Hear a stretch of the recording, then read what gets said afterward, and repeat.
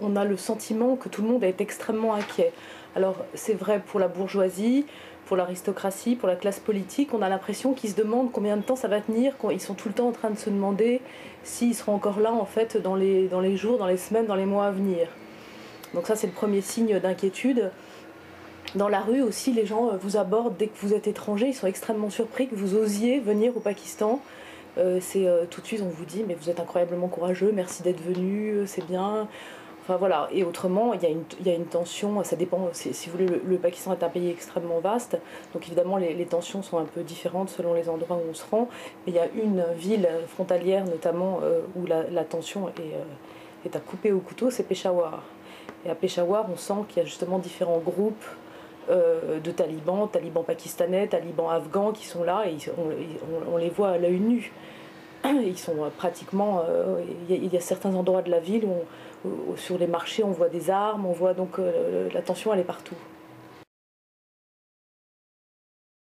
Oui, alors absolument, c'est-à-dire que pour, pour adresser le problème afghan, on ne peut pas faire l'économie euh, de, de, s'attaquer au problème euh, pakistanais. C'est là, là, où réside le nœud de, de la crise.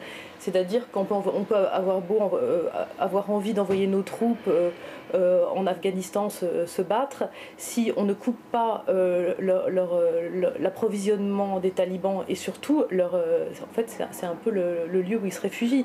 C'est-à-dire qu'il ne faut pas imaginer des, talibans qui passent leur temps en Afghanistan et qui campent en permanence dans les montagnes. En fait, ils ont leur euh, et moi j'ai pu le constater en les, retrouvant là, ils ont euh, leur maison, leur famille, leurs écoles euh, dans, les, dans les villes du Pakistan et ils s'y rendent très facilement en trois heures. ils, sont, ils peuvent passer de Peshawar jusqu'à Saroubi où les soldats ont été attaqués. Donc ça, fournit un vivier incroyable puisqu'il y a 3 millions d'Afghans au Pakistan et ils passent sans aucun problème les frontières officielles. Il ne s'agit même pas de prendre les 1000 chemins de traverse qu'il y a le long de cette énorme frontière. C'est très facile pour eux de, de si vous voulez, de, se rendre, de se rendre euh, en Afghanistan. Et donc c'est euh, c'est un peu aller euh, mener une guerre sur un front, alors qu'en fait il faudra adresser un, problème bien en amont qui, serait au Pakistan.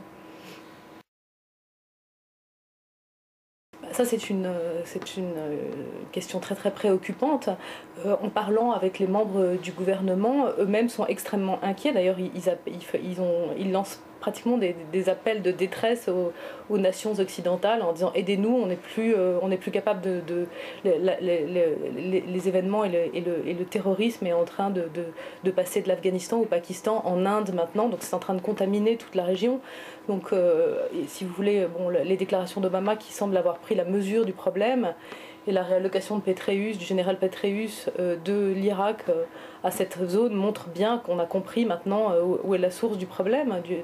mais est-ce qu'il est n'est pas trop tard? Parce que ça fait donc sept ans que les Américains financent finalement une armée qui a été incapable de mettre un terme et qui a laissé prospérer cette, guérilla et ces insurgents talibans et d'Al-Qaïda. Donc comment euh, on va pouvoir adresser le problème? Est-ce qu'il va être capable de renverser euh, la tendance? C'est une, une grande, grande inconnue.